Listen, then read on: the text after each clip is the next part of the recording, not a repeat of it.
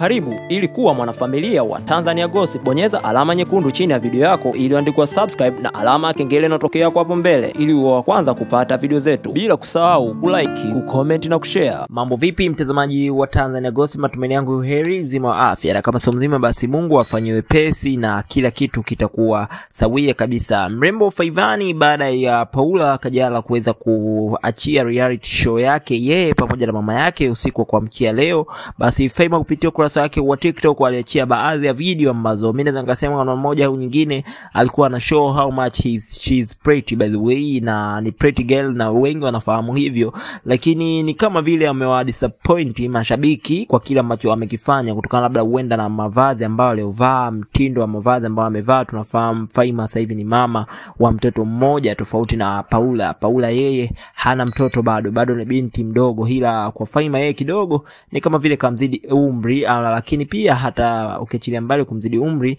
ana majukumu ya kimama sasa hivi, yani mtu mzima sasa.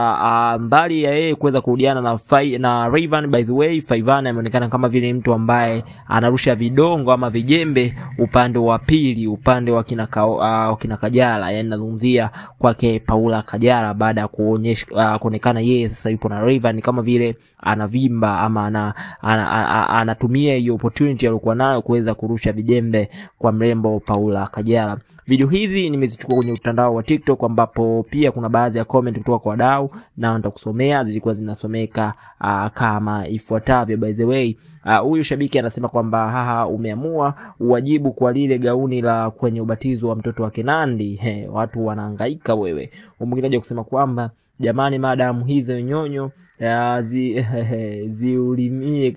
Okay, anyway, uh, comment nyingine si nzuri. Huyu mwingine akasema kwamba Faima, tunakupenda sana, ila kwa vazi hili hapana. Huyu mwingine akamwambia kwamba eh, ushakuwa mtu mzima, achana na mavazi eh, ambayo siyo ya kujistiri. Huyu mwingine akamwambia kwamba wewe ni Muislamu, hebu vaa nguo za heshima kidogo. Huyu mwingine akasema kwamba uh, Faima nakupenda sana, ila kwa vazi hili mm, hapana. Kwa kweli watu wengi wamejaji vazi la Faima, nadhani si vazi la chini, bali ni vazi la juu, kwa sababu inaonyesha eh, maumbile yake ya juu, yani inazungumzia upande wa kifuani kwenye maziwa ni kama vile ah, yanaonekana dede, yani kayaachia tu ah, pasi na kuweza kuyastiri vizuri, kama vile ah, mashabiki sasa imewaumiza kidogo, ndio maana amepelekea kuandika hicho ambacho nakiona amekiandika hapo. Huyu mwingine inaweza comment ya mwisho anasema kwamba ah, mambo yote ya Rayvanny umeyaweka hadharani. Sasa kipi ambacho sisi hatukijui?